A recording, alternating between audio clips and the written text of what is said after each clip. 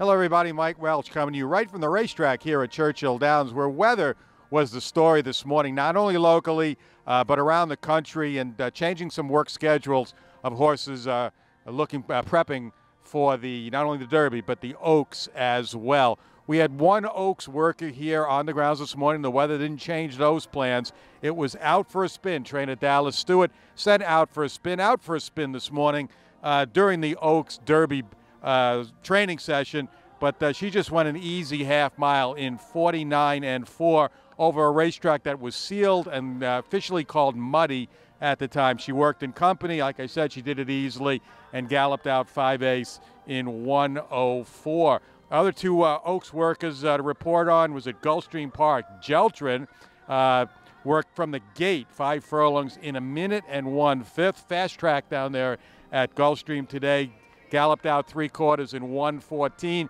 She'll hop on a plane on Tuesday and be uh, uh, flown to Churchill Downs for the Oaks. And over at Keeneland, trainer John Servis pushed up Jaywalk's work one day. Breeders' Cup winner Jaywalk's work one day because of uh, rain in the forecast uh, for the Lexington area later today.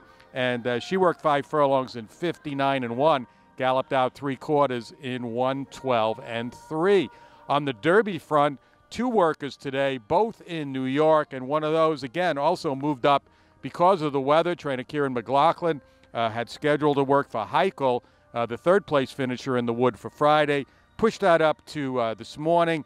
Went five ace from the half mile pole in 101 and 2, according to my colleague Dave Grening, who was on hand for the work.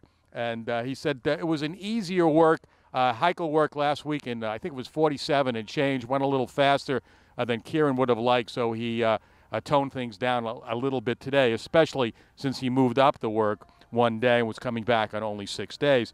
Also, the Wood runner-up, Tax, uh, went four furlongs in 47 and four. Uh, had a strong gallop out, according to Grening. Five ace in 101, six furlongs in 114. That work actually pushed back a day by trainer Danny Gargan, who I believe was in Ocala for the sale, so uh, not weather related there locally during the Derby session. Again, the same uh, bunch we've been talking about over the past few days. Uh, were out this morning over the muddy surface, and I thought uh, several of them looked very good by my standards. Uh, was out today for the first time during the uh, Derby Oak session since his work on Monday, and I thought he looked terrific. Neck bowed uh, going around there. He's just made a great impression here uh, since I've been here, and uh, apparently uh, right before I arrived. Also, I thought Improbable looked good, was asked to do a little bit more today than yesterday's session, also coming off of work on Monday. And I thought Omaha Beach looked terrific again today. Uh, hit two, neck bow down, uh, without the draw reins, but still uh, looking good this morning. Getting ready for a prospective work here Friday. He's the lone Derby worker on the schedule for Friday, but again, weather may play a big part in all of this.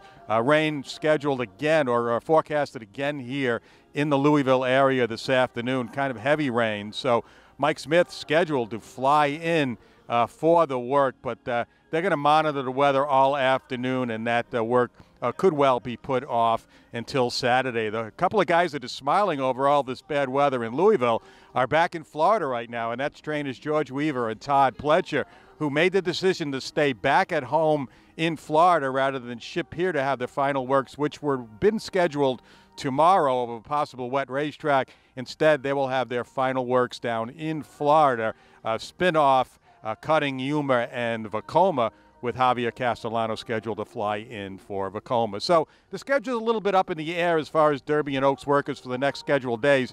There's also three prospective Oaks workers on the docket for tomorrow, but uh, those works could be pushed ahead as well. So we'll uh, be right here monitoring this situation at DRF.com. Like I said, uh, not only the best coverage uh, for Derby 2019, but also uh, the DRF Clocker report. We have people everywhere for all these workouts. Dave Grening in New York, Donald Harris up at Keeneland this morning, uh, Toby uh, Terrell out in California for the Santa Anita work. Santa Anita work still to come, and I'll be here all week long, as I hope you will be at DRF.com for Kentucky Derby 2019.